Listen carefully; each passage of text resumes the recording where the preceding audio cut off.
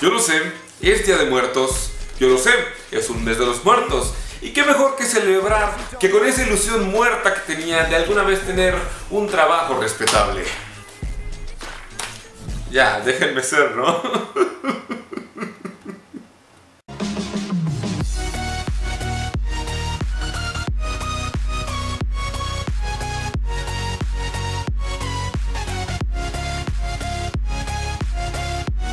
Hola a todos, bienvenidos a Clasificación Chávez, el único show que no teme hacer suicidio laboral, porque en serio, ya, ya no, o sea, ya, ya pasó mucho tiempo, o sea, ya no, trátenme. Entrevistas de trabajo, todos las pasamos, ya sabemos de qué es, pero siempre, siempre hay cosas que nos preguntan, siempre hay cosas que pasan que odio. Y yo, como un veterano en las entrevistas de trabajo, parezco, parezco la amiga de la novia del pueblo, o sea, siempre, siempre de amiga, siempre de madrina de bodas, pero nunca, nunca novia de bodas, o sea, así me siento con los trabajos, siempre, siempre entrevistas, siempre nosotros te llamamos, pero nunca, nunca contratado. Fuck you, ¿saben? Fuck you, ya estoy harto. Es por eso que aquí les pongo las 5 cosas que detesto de las entrevistas de trabajo.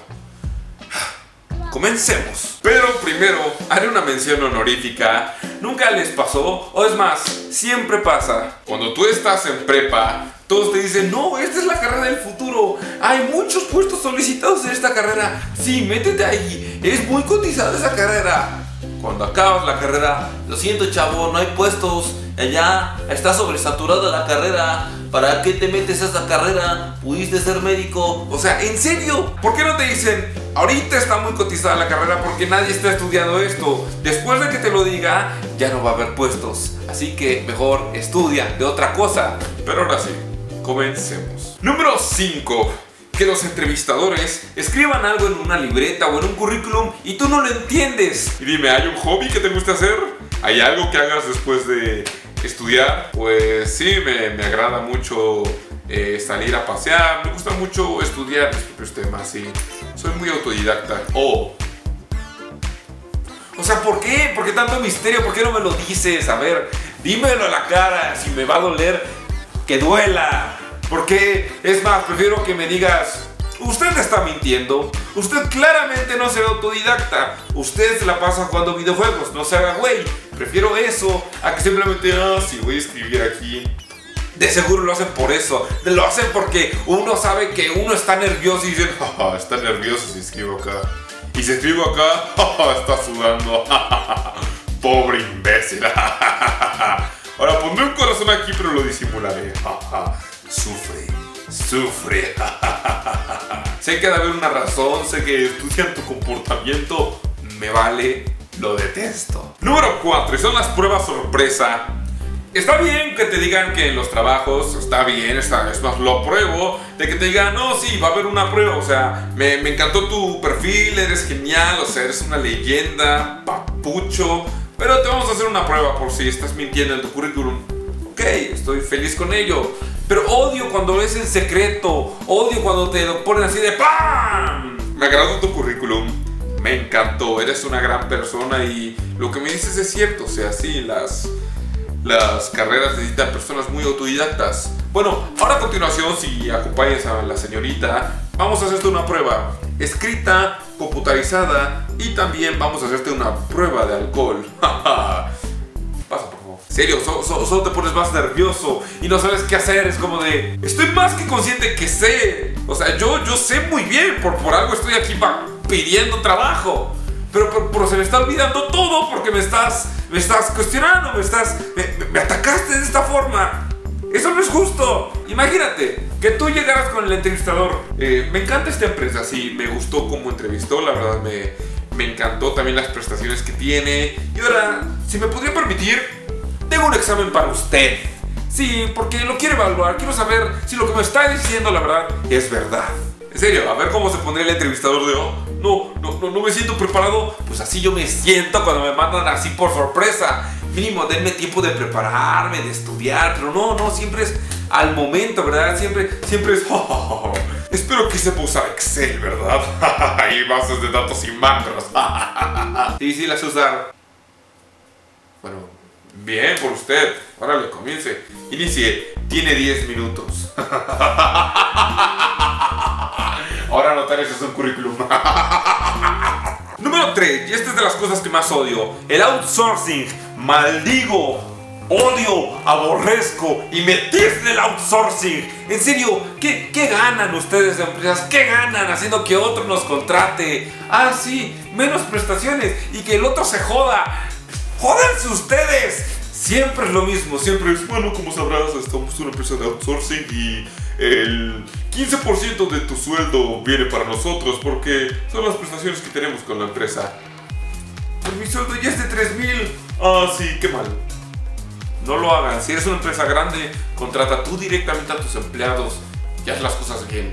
Te quitan muchas de tus prestaciones, no te dan antigüedad, te quitan parte de tu sueldo. No sé por qué en algunos lugares te añaden otro tonto impuesto ¿Por qué? ¿Por qué? Es más, ven de Broadband TV y todo eso. Esas son cosas de outsourcing. ¿Creen que voy a caer en eso? No, no, mi canal es mío. No me lo van a quitar a empresas de outsourcing. Sigamos. Número 2, y este es un clásico. Que te mientan en las vacantes, pero ah, tú no puedes mentir. Ocupamos, o sea, requerimos, no ocupamos en primera. Ocupo dos personas que van mercadotecnia para sueldo muy competitivo que tenga también sueldo base, en base a prestaciones, te, te, ponen un chorote para que te lleguen y, ah, sí, es ventas, chavo, es ventas, y pues no, no, no era sueldo, sueldo, es sueldo base, pero en base a lo que ganes, en base a lo que vendas, no, no, no, no hay algo fijo. ¿Qué? ¿Qué? Por cierto, lo bueno es que tú sabes Excel, yo no sé Excel ahí, Bueno, ni lo ibas a usar, chavo, así que pues, a trabajar. Odio que te mientan en las vacantes. Odio que te ilusionen de una forma horrible en las vacantes. Por eso, por eso uno ya no confía. Ya después de un rato es como de, ah, sí, qué chido. Se necesitan relacionistas públicos para que te pongas a vender Herbalife allí en la esquina. No te pases. Solicito comunicólogos para que hagan el plan de ventas de la empresa. Para que hagas telemarketing. ¿A quién engañas? Solicito mercadólogos para que hagan relaciones públicas y trade marketing en la empresa, para que vendas cursos de lectura a diferentes lugares de la República, cursos de lectura muy caros, tengas que pagar tus viáticos tú mismo, no se me olvida. Tú mientes, ah, si no, no queremos una persona mentirosa, ah, si no me hubiera mentido en la vacante, yo no hubiera mentido en que tengo 5 años de experiencia vendiendo. Pero no tiene 5 años de experiencia comprobable. Vendía Doritos cuando estuve en preparatoria y secundaria. Vendía Doritos, 5 años de experiencia, no especificó. No, no, no, no mientan, ninguno de ustedes mienta, es malo mentir. Y la número uno, y esta es la que más detesto de todas. Piden experiencia, pero no te quieren dar experiencia. Te quieren capacitar, pero solamente son los de ventas los que te quieren capacitar. Y es lo que más detesto. Y pensarás, Daniel, creo que tienes algo muy serio con los de ventas. Es cierto en parte, pero la verdad también lo respeto. Pero, volviendo al punto, he visto vacantes ridículas. solicito becarios de los primeros semestres que tengan 5 años de experiencia en el mercado, que sepan manejar tablas, bases de datos, macros y que aparte tengan tiempo en las tardes, en las mañanas y en las tardes. ¿Qué becario hace eso? ¿Qué, qué, qué preparatoriano y qué universitario tiene tiempo en las mañanas y tardes? En las mañanas o vas a la universidad o en las tardes. ¿Por qué? ¿Por, qué? ¿Dónde está la lógica? Cuando intentas hacer tus prácticas de trabajo, tus prácticas profesionales, es lo mismo. Solicito becario de mercadotecnia con 6 años de experiencia ¿En qué? ¿Qué? ¿Por qué? ¿Por qué? A ver, si soy becario, quiero trabajo de becario, no quiero trabajo de gerente. Entiendo, los, entiendo, es más, entiendo que los puestos más altos, gerencias, directorías generales, entiendo que te pidan experiencia, pero cuando estás entrando en serio, importa mucho que necesiten tres años de experiencia. Yo los puedo aprender. Deme el libreto, deme los manuales. Yo lo aprendo, deme dos meses y yo aprendo. Lo siento, no te puedo dar la experiencia porque ya la tienes que tener. Siento que solo ah, atrasarías a la empresa y no estamos aquí para esas cosas. Y lo que más detesto Cuando entran es por palanca. Este maldito país se maneja a base de palancas. Oye, ¿cómo te metiste a tu empleo? Ah, pues me ayudaron, me ayudaron. ¿Y quién? Pues mi papá conoce al dueño.